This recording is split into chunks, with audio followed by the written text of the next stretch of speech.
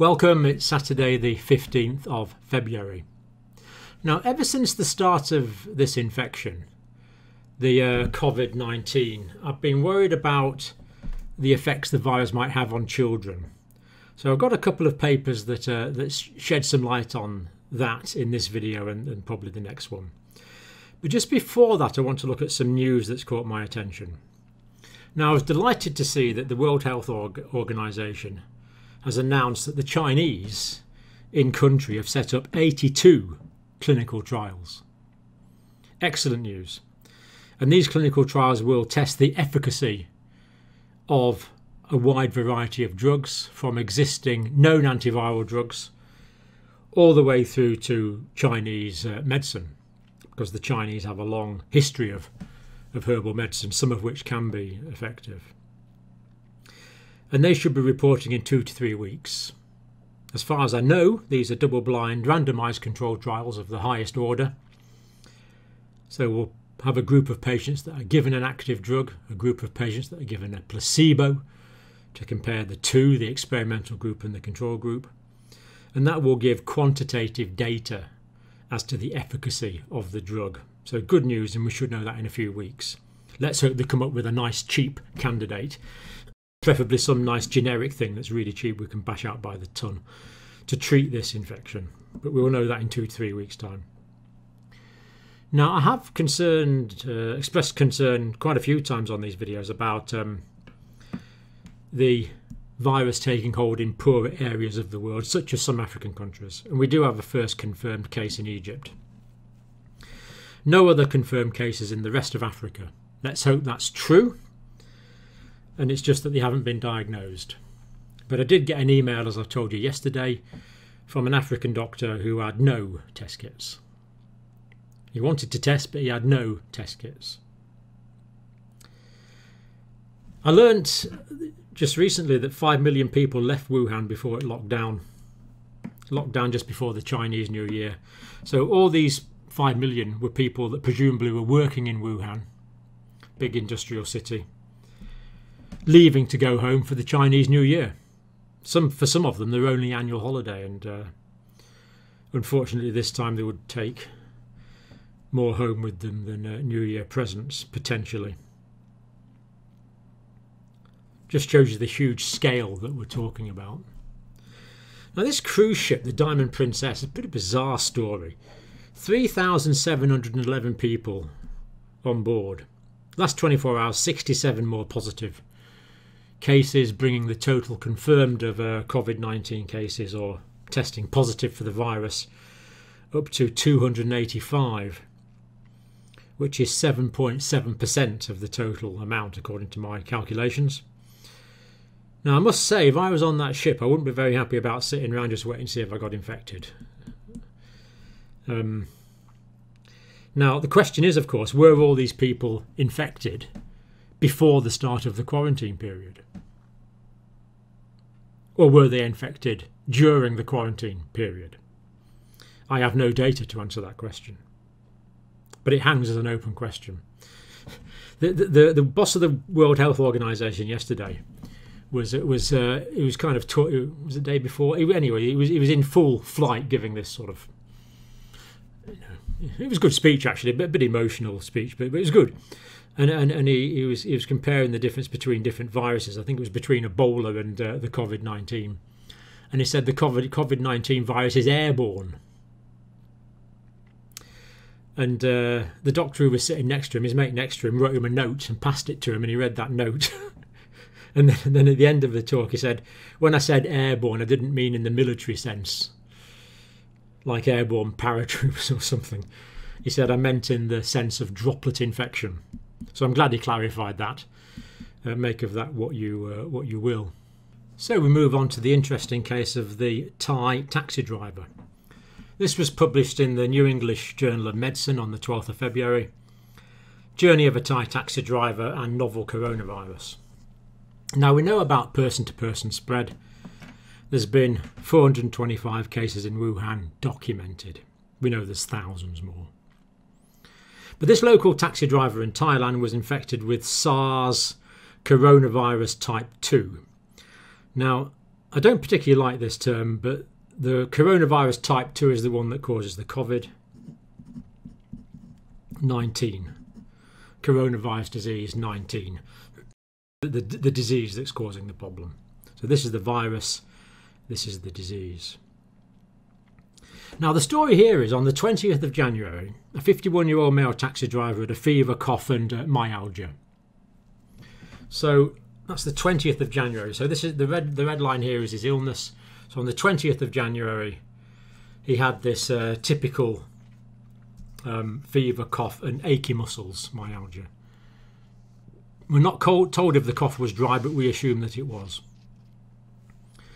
23rd of January, so he just must have soldiered on for a few days there. 23rd of January, he went to a primary care clinic in Bangkok. Temperature was 36.8, which is normal. And a throat swab for influenza A and B were both negative. So that's good. They're testing for known viruses. And there, there weren't any. So they sent him away and he went home. But the 24th to the 27th of January, a purple line there, 24th to the 27th, he was at home during that time. And this is, this is what's interesting about this case, as we'll see. So he was at home then, too ill to work. Home from the 24th to the 27th. Now, on the 28th, he still wasn't feeling well, so he went to a general hospital in Bangkok and was put under investigation for COVID 19 and he was isolated at that stage. And he was positive. He was positive for the uh, the SARS coronavirus type 2, causing the COVID 19 infection. 28th of January, he had fever and mild dyspnea. Now, that dyspnea is difficulty breathing. The American spelling difficulty breathing. Now, chest radio, chest chest X-ray, chest radiograph showed uh, reticular patchy infiltration. Right. Um, what this means is, so if you imagine there is a main airways there, going to his lungs, so left lung, right lung, like that. So he had, did he have? Patchy, uh, reticular patchy infiltration. Reticular means a network. Infiltration means that there's consolidation in the alveoli. It was in the bottom of his left lung, so it was kind of this area here, and it was like a network of. They're not saying he had pneumonia, but it's pneumonia-like features. So in these areas where he had this uh, reticular patchy infiltration, um, what would happen? What happens is if these are the alveolar air sacs then fluid is accumulating in these. That's the that's the infiltrate, the fluid, and of course that stops the air getting in and out properly. So that's what that's what that means. Now, throat and nasopharyngeal swabs tested positive for the uh, for the COVID-19 virus, and it's nice that this was done at two laboratories. So two different labs came up with the same result, which is, is quite reassuring. Now, when he came in, he said he had no co- comorbidities. He thought he was fit and well. Unbeknown to him, he had hypertension, which of course is a hidden epidemic, and type 2 diabetes, which is another hidden epidemic. So he was found to have both of these conditions. And this could be relevant because people with hypertension, it's been reported that they get more severe disease and people with undiagnosed type 2 diabetes mellitus, their blood sugar levels will be higher than normal. And if the blood sugar levels are higher than normal, this interferes with the ability of the white cells to move through the tissue spaces.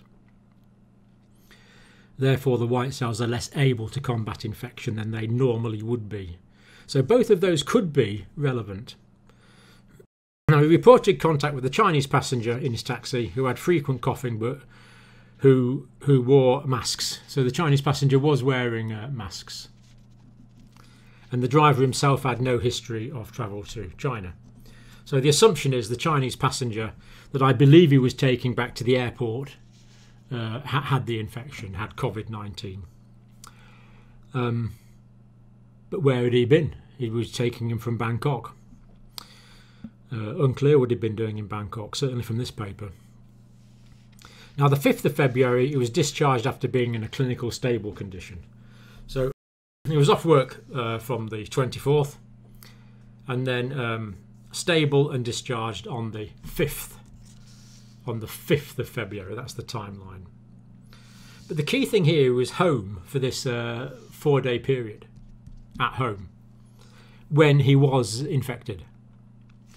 He was symptomatic and his wife, son, and nephew, who he lived with, were in the house with him for those four days.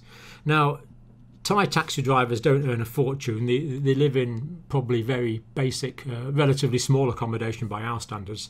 I'm sure this guy wasn't living in a spacious mansion. But his wife, son, and nephew, who would be in fairly close contact, were asymptomatic. They had no symptoms and they tested negative on real-time polymerase chain reaction assay, which is the test. Assay just means an assessment of.